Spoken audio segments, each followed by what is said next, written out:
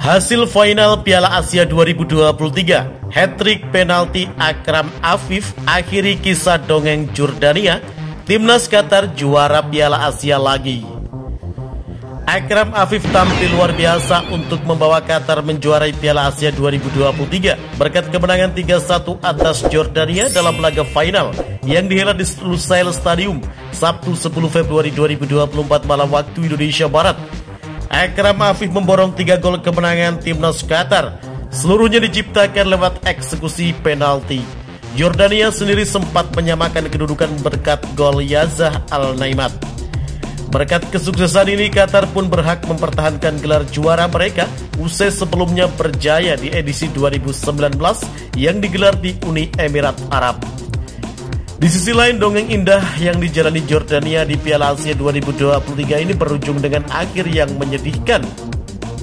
Berikut ini adalah jalannya pertandingan antara timnas Qatar versus Jordania.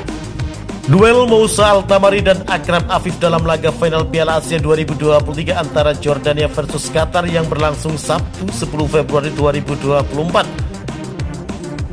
Qatar mencoba langsung tampil agresif sejak awal laga. Meski demikian, Qatar menjadi tim yang lebih mendominasi penguasaan bola dan lebih banyak mengancam pertahanan lawan.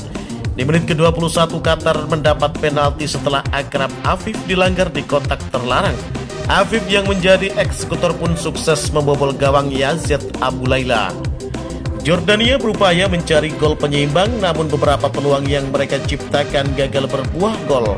Skor 1-0 untuk keunggulan Qatar bertahan hingga turun minum. Di babak kedua, Jordania meningkatkan intensitas serangan mereka. Hasilnya, Al-Naimat sukses menyamakan skor menjadi 1-1 lewat tembakan voli keras pada menit ke-67. Menit ke-70 VAR kembali memberi penalti kepada Qatar setelah ada pelanggaran di kotak terlarang. Afif yang kembali menjadi Algojo pun lagi-lagi mampu menaklukkan Abu Laila. Qatar sekali lagi mendapat penalti pada masa injury time setelah Afif dilanggar Abu Laila. Afif melengkapi malam indahnya dengan mencetak gol ketiga, sekali lagi lewat eksekusi tendangan penalti. Tak ada gol tambahan yang tercipta di sisa waktu, skor 3-1 untuk kemenangan Qatar pun menjadi hasil akhir laga final ini. Qatar kembali menjadi juara Piala Asia kali ini. Bagaimana menurut kalian? Jika suka dengan video ini, nantikan video kami selanjutnya dan salam olahraga.